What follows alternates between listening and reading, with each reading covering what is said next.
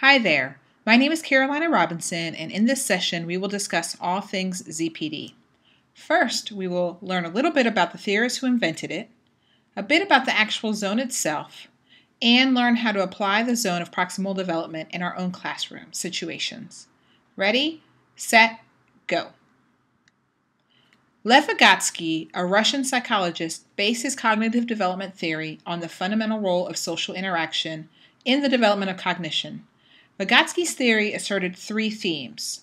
First, social interaction plays an essential role in the process of cognitive development. Second, the importance of a more knowledgeable other. An MKO is a person who possesses more knowledge about a particular subject than the learner knows. And third, the identification of the zone of proximal development, which to Vygotsky is the sweet spot where learning occurs. Let's look at this drawing to explain the zone of proximal development. Vygotsky's definition of ZPD is the distance between the actual developmental level as determined by the independent problem solving and the level of potential development as determined through problem solving under adult guidance or in collaboration with more capable peers. In other words, ZPD is the difference between what a learner can do alone and what they cannot do without help. You can also think about instruction as a continuum. On one side, there is what learners can do independently. If you are teaching in this area, the skills are already mastered by a student. No learning takes place because the skills are too easy. On the other side of the continuum are skills that a learner cannot do on their own. Information here is too difficult without direct assistance of a teacher. In the middle is the ZPD, where learning is most sensitive. Instruction is most beneficial in the zone of proximal development because it is just beyond a student's capabilities. Let's imagine a father and a young son playing on a basketball court. At some point, the son tells his dad that he wants to dunk the ball, but the task is just outside his reach. The father, the MKO, picks the son up and together they dunk the ball.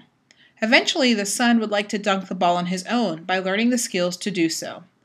The father would retreat and offer less and less support until he is no longer picking the son up and the son is dunking on his own. This silly example illustrates ZPD and MKO and explains learning and development as a series of steps. Once a student has mastered one step, then and only then can they move on to the other to eventually master the skill independently. So, how does one use understanding of the zone of proximal development in our own classrooms? First, it is important to identify a student's ZPD and assess it often to see if they are learning the skills that they are required. Second, it is important to understand that students have different ZPDs.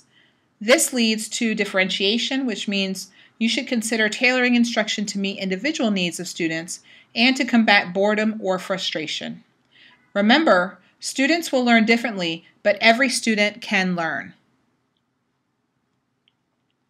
As a teacher and the MKO, you are to provide scaffolding or a variety of instructional techniques to move students progressively towards stronger understanding and ultimately greater independence in the learning process.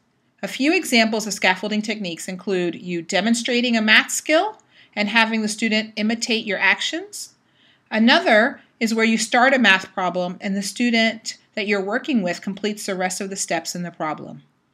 The last scaffolding example is where you assign a student to cooperate with more developed peers for understanding of the math problem. Remember that Vygotsky's theory teaches us that social interactions are essential for learning. So, just as a recap, we have learned that the zone of proximal development is the difference between someone can do independently and what they cannot do without help. The role of a teacher, parent, or peer as the most knowledgeable other is to provide instruction through scaffolding as a way to move the learner to independently mastering a skill. I would leave you with these final words of Vygotsky's. We don't learn because we have developed. We develop because we have learned. Thanks for listening.